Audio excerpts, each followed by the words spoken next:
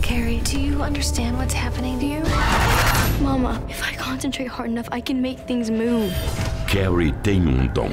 She is such a freak. I want to be normal. Ela quer entendê-lo. There are other people out there like me who can do what I can do. Mas antes, ela precisa controlá-lo. If you are planning some kind of joke on a poor, lonely girl,